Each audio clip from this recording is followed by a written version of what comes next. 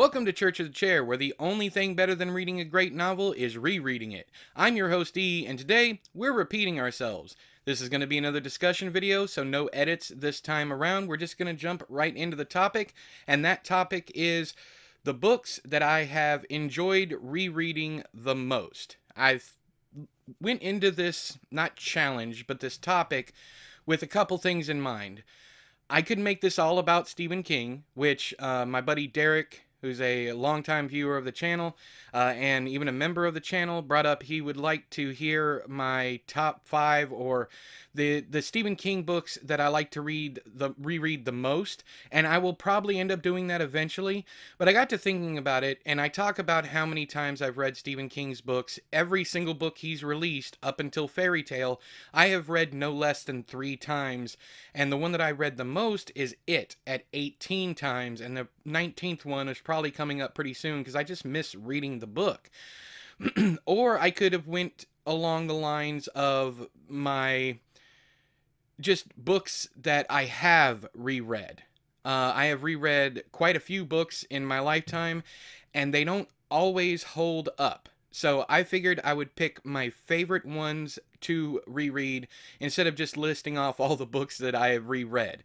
Um, also, since this is a, this is a discussion video. I hope to see you guys down there in the comments telling me books that you love to reread, read a second time, third time, so on and so forth. Uh, also, I want to hear from people who do not like to reread books, and I want to know why you don't like rereading books. For me, it's absolutely no difference between rereading my favorite books or watching a movie that I have seen multiple times. I've seen Howard the Duck hundreds of times, and yes, no hyperbole, no exaggeration. It is my favorite movie of all time. I've probably watched it easily, easily over a hundred times because I've worn out three VHS tapes and one DVD, and I have a new DVD and a Blu ray of it. So I'm a little bit of a fanboy when it comes to Howard the Duck, but it's a very special movie to me. So I'm gonna. I picked out. Uh, let's see here. One, two, three, four, five. Five books that I'm constantly picking up over and over again, uh, especially when I need a comfort read. And I think at least three of them are gonna be surprises because I don't talk about these books a whole hell of a lot, and I probably should talk about them more. The first one that I picked up is Red Dragon by Thomas Harris.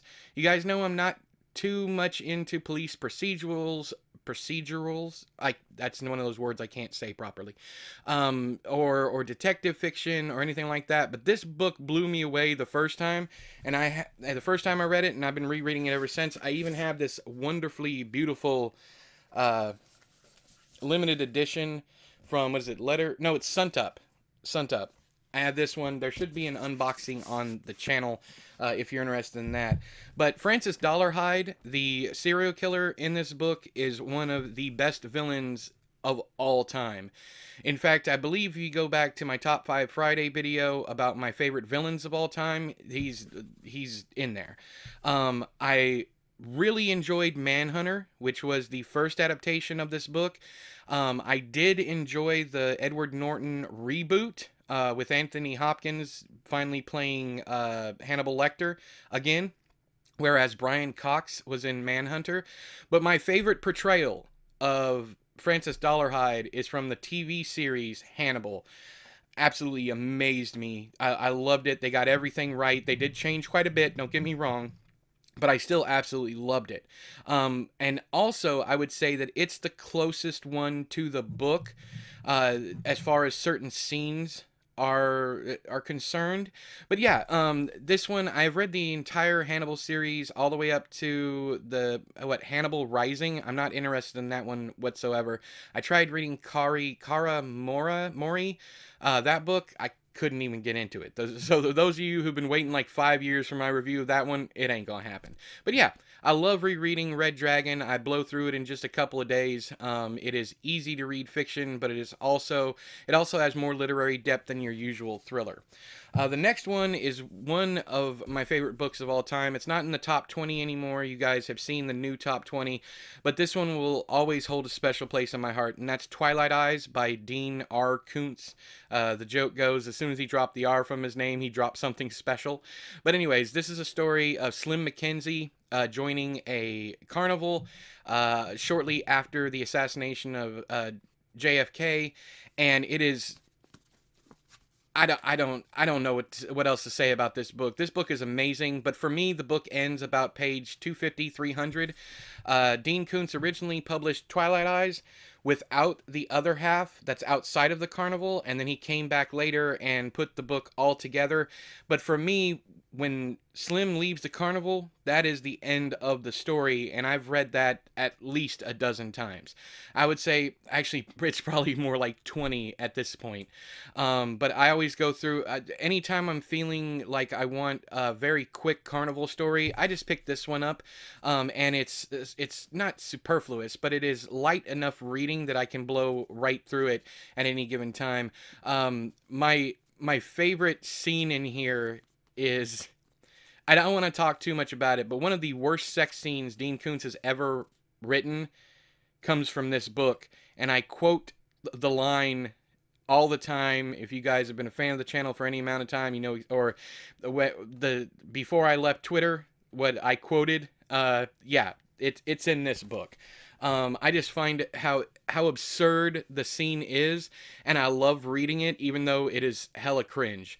Uh, but yeah, if you have not read Twilight Eyes, I highly suggest you you try that one, um, especially if you're someone who doesn't like the new Dean Koontz stuff. Um, and I'm talking like the last 20 years of Dean Koontz. Definitely pick up Twilight Eyes. It's a lot of fun, um, especially those first two two to 300 pages. Just remember, for me, the book is over once he leaves the carnival. Next up is one that I harp on all the time. I think uh, this author is our second greatest living short story writer. Um, I'm also really enjoying her novel right now, uh, but I'm st- still so in love with these short stories. I, I doubt I'll ever find anything to top it other than Clive Barker's Books of Blood. And that's what I always say. This one is number two for my favorite short story author because Clive Barker's Books of Blood are just they're perfect.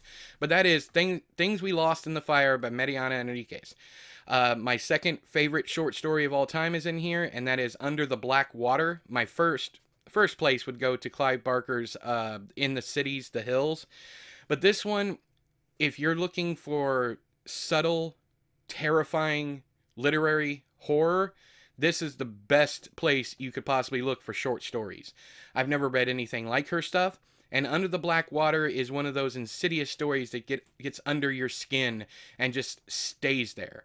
Um, but yeah, she's easily one of my new favorite authors, um, and I'm hoping that more of her stuff gets translated. So far, we've got the uh, the Dangers of Smoking in Bed and Our, which is another her first short story collection, which was translated to, into English second, and then this one, her second one, which was translated first, and then we have her 600 page novel, uh, Our Share of Night, that I'm currently reading and enjoying. But yeah, there, you can't go wrong with this collection of stories, and I don't, I've never understood understood the cover. I mean, I know it kind of it kind of ties in because the things we lost in the fire theme, but at the same time, I don't know. I wanted a little bit more, and I was surprised that you know my second favorite short story collection of all time was wrapped in this package because it's a little boring for how amazing the interior is.